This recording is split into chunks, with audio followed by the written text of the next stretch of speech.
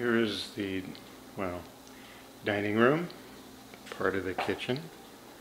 And then this is our kitchen. It's still nice to me, but it is 26 years old and can use an updating. My favorite part is our old oven and microwave, which still works, kind of. And that's our real front door. This is the living room. See the kitchen's off of it, cedar ceilings. That's the rest of our house, just like Plato Street. A Couple bedrooms, three bedrooms. And then bathroom we had remodeled like eight years ago. That's it.